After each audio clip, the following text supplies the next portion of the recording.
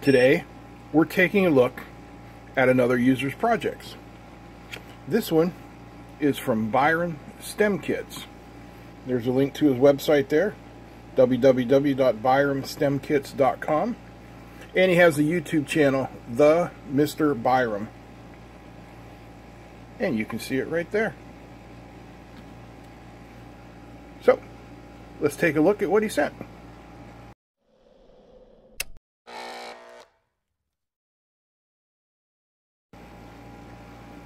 We have two kits here. This first one is a little nightlight kit that uses two resistors or two transistors in a Darlington pair and a photoresistor to tell when it's dark out. And this one is a persistence of vision kit using what one, two, three, four, five, six, seven LEDs and a PIC microprocessor. So we're going to build them both and have a look.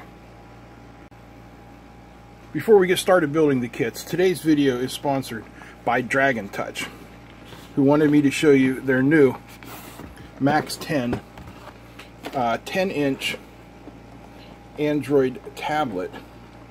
It's running Android uh, 9 Pie. It has an octa-core processor and a 1200 by 1920 IPS HD display if I can get the box open.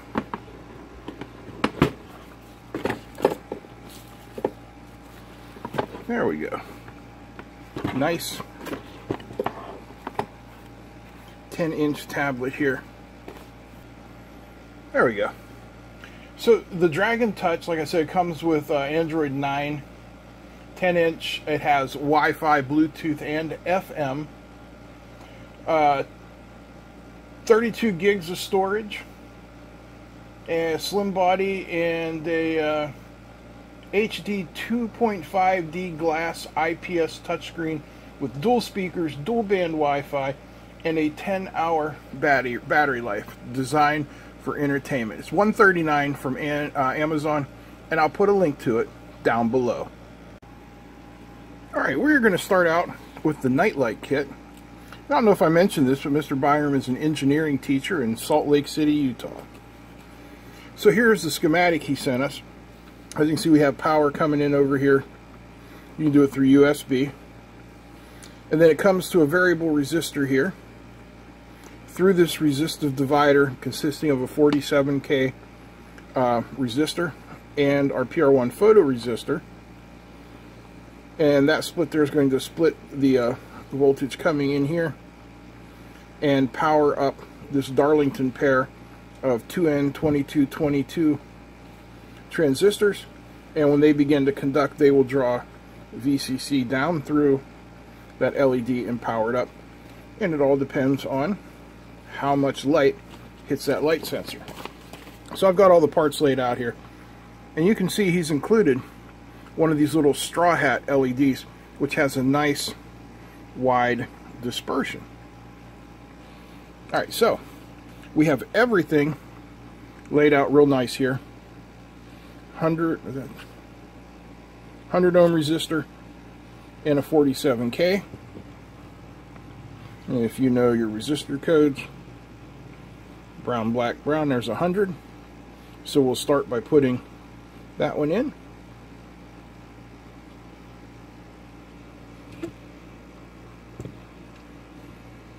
Don't worry, I'll move the uh, camera in just a second. Done a really nice job of laying these boards out. Resistors seem to fit quite nicely. And they're not the horrible blue resistors that you get from Chinese kits. So that's really nice. There's our variable resistor. Those blue ones are just, in my opinion, almost impossible to read. So I'm going to put a piece of tape on here to hold our components in place while we begin our soldering adventure. That one's not going to want to play nice, so what I'm going to do is just bend those legs out a little bit. And I'll bend this one out too. There we go. Let's get you a better view.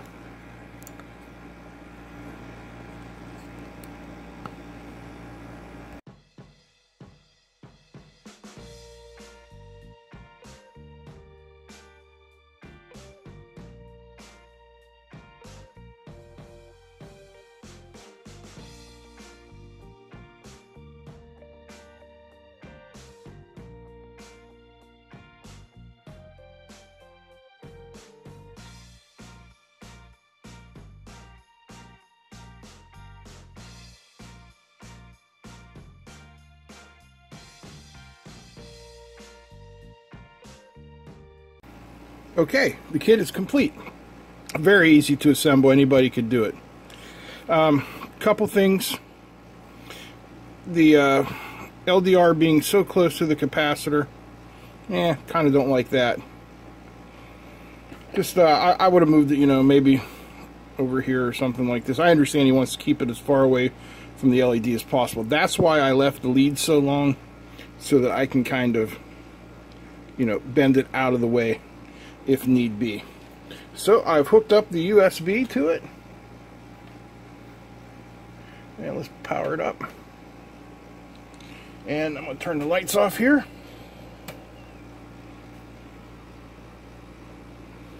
There you go. Very nice.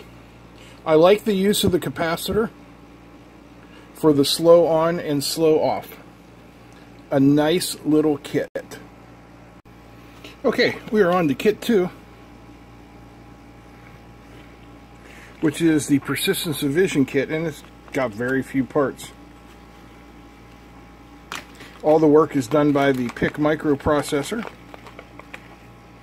So we've got a, a coin cell battery. There is the uh, microprocessor on a little holder.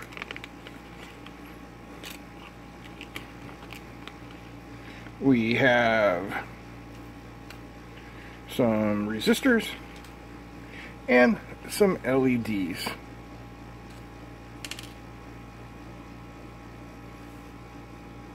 We got red, red, black, brown.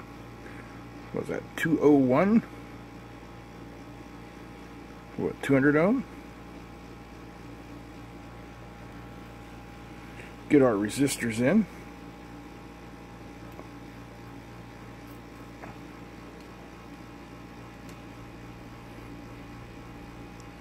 And for those of you with OCD among us, I will make sure to put them all facing in the same direction. That way I do not receive your angry emails. I'm just kidding.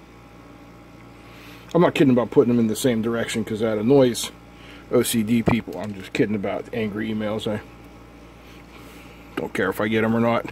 That just means you're watching the channel. So,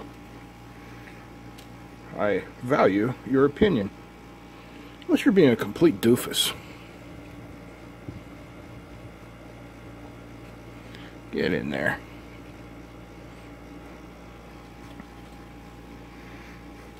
And if you guys have other projects that you would like me to cover and feature on the channel, I'm happy to do it. It doesn't have to be a PCB project. You know, any sort of uh, electrical or electronic project that you've done yourself and you're proud of and you want to show off. I'd like to show off it for you take advantage of the viewership. Which right now we're sitting at, uh, what are we sitting at? 92,000 almost. We're getting so close to 100,000. So if you haven't subscribed yet, you better subscribe. It's like, I need your vote. Subscribe. I am itching to get that silver play button. I know it doesn't sound like a big deal, but that has been my goal since I started this channel over three years ago is to get that silver play button. So help me out. Subscribe if you haven't subscribed yet. If you have, thank you. Tell a friend. And if you have any ideas what we can do for the 100,000 subscriber episode, let me know.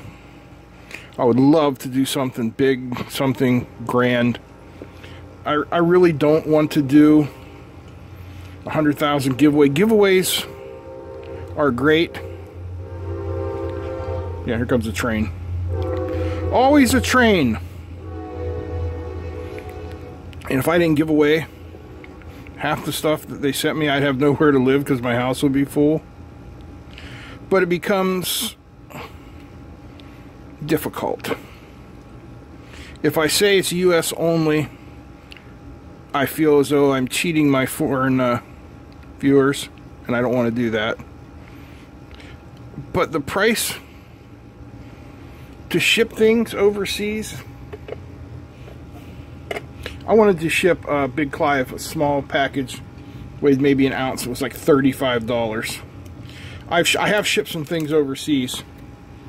Um, we had an Arduino starter kit I gave away a year ago that we shipped overseas to like somewhere in Eastern Europe. You know, probably a 12 by 8 inch box weighed, you know, virtually nothing cost $75 and you know I had to ask the uh, the recipient to pay the shipping. I hate doing that. So let me know if you've got an idea for the 100,000 subscriber special. Assuming I make it there you know. We do seem to be in somewhat of the the apocalypse at least here in the U.S. I know in other parts of the world you guys are recovering. We apparently are far too stupid to listen to our scientists and do what they say. Here it's all about money. Well, we can't close the businesses, we'll lose money. Well, can't spend it if you're dead now, can you? Alright, put some sticky tape to hold them in place, then we'll go through.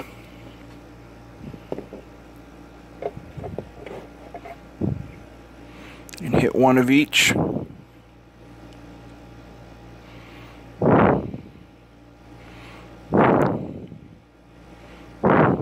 For those of you who are paying attention and asked me about my ear, I still can't hear anything. Had another visit with the uh, ear doctor who vacuumed it out and can now see my eardrum, he said. And he says it's full of fluid. So probably going to end up with tubes in my ears. he thinks he's going to do it in the chair at his office. Oh, I don't think so. I think we're going to need hospital grade pharmaceutical drugs for that particular endeavor. And I wish to be unconscious. This is what he tells me. He said, Well, we'll put some drops in your ear to numb your eardrum and you won't feel a thing. Usually. I like that. Usually. He said, if they don't work, I have to give you a shot in your eardrum. I said, in my eardrum? He said, yep. I said, nope. I'll take an IV full of uh, anesthetics and sedatives, please. You can just wake me up when it's over and tell me how I did. You did great. Thanks. I was sleeping. I was trying really hard. Cause uh I know me. I mean, I've I've been friends with me for going on 52 years. I will not react well to getting a needle shoved in my eardrum.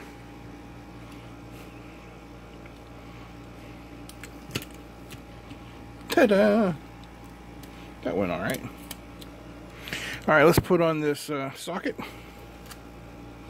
Making sure to align the notches. Well, there's no notch on this, so Luckily, Mr. Byrom has numbered the pins, so that is quite helpful.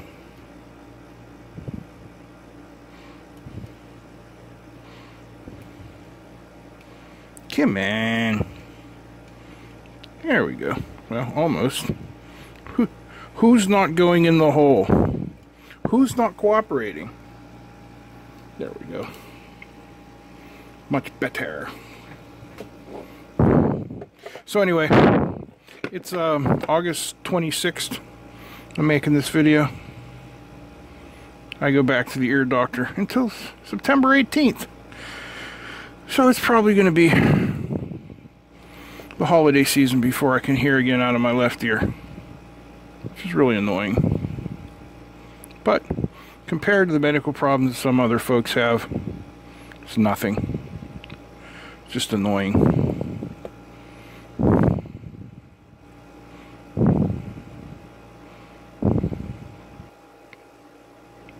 Now this is relatively low speed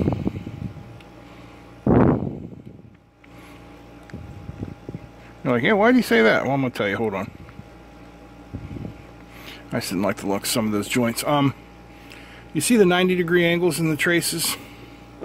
It won't be a problem at low speed. But if you get up into uh, the RF frequency range, you don't want 90 degree angles. 45 degree angles are fine. 90's not so much. It will uh, impede the signal.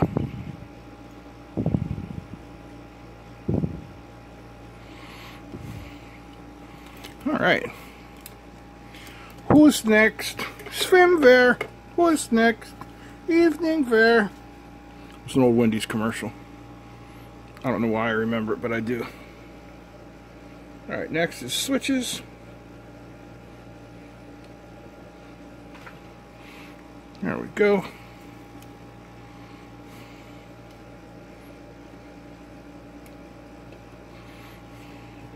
I like switches that stay in there in their holes. I don't have to clip them out or anything. Clip them out. Good Lord, Paul. I don't have to glue them or tape them or anything. Just makes it easier.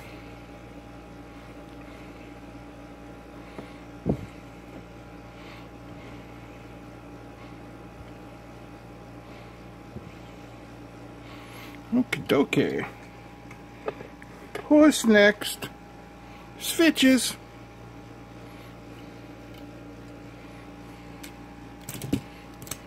I know right now, as soon as I put that switch in there, I'll Barry the alligator lover down there in Florida is going, that's exactly what we want for the rocket launcher board. I know.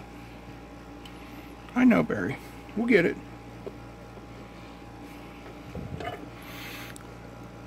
We are working on a version 2 of the rocket launcher board. My partner in this crime, Mr. Barry, wants to make it uh, compatible with the Estes model rocket folks. So in order to do that, we're going to add a couple of little features in there for testing continuity and things of that nature. Oh Lord, I speak like Mike Tomlin and things of that nature. You'll know who Tomlin is. He's the coach of the Pittsburgh Steelers. The best American football team ever. You may leave your angry comments below, unless you're a New England fan, in which case, just shut up.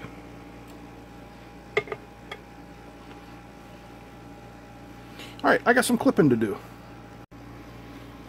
We even got an extra LED. Unless I missed something, which is altogether possible. I tend to miss a lot of things.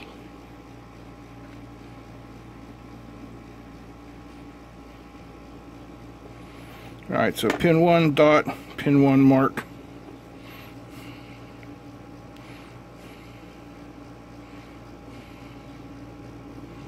Make sure everything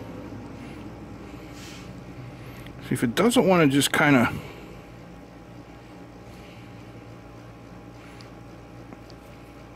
smoothly go in there. You need to work on realigning your pins. But that wasn't bad. Just took a little wiggle. And it went right in.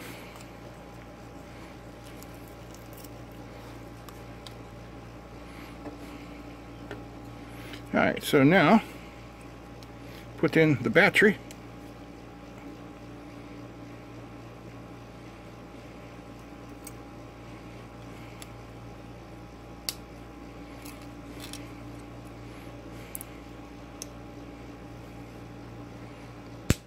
There we go. I don't think that's right.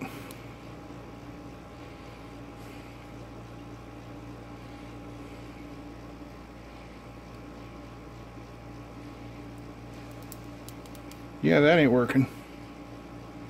Man! Okay, I think I figured out what the problem is. Um, it wasn't programmed. I was watching Mr. Byrom's video. He said it was programmed with ABC but it looks like this one wasn't programmed at all so we can come down here to one of his nifty charts I want a heart so that is on off off off on on on so we just hit change and you can see it's in binary the way it's counting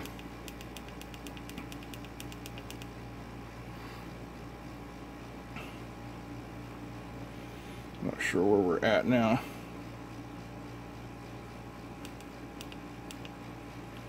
We got on, on, off, off.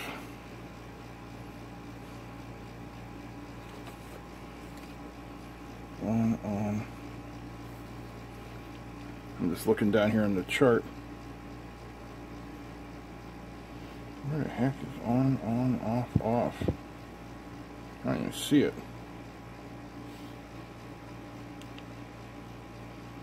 off, off, on. Okay, I think we're here. Off, off, on, on, off, off, off. Okay, so that's T. So next should be U. It goes. V. Yeah, okay. Or W. That's V. W, okay. X. Y, Z, something, something, 3, that one, that one, that one. Then we have a space. Then we have a lowercase a, lowercase b, c, d, e, f, g, h, i, j, k, l, m, n, o, p, Q, R, S, T, U, V, W, X, Y, and Z, which brings us down to here.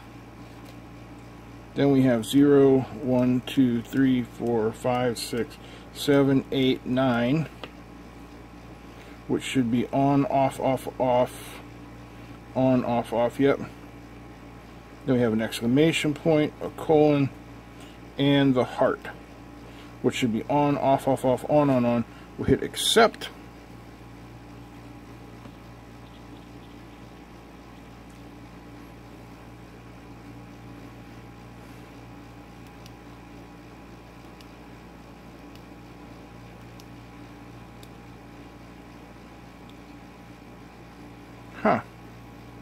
We're back to that, are we? So to program it, you hold down one of the buttons, turn it on, it goes like that. So we are at on, off, off, off, on, on, on, which is our heart.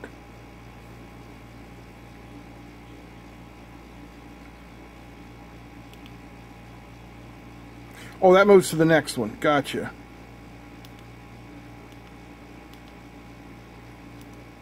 Okay.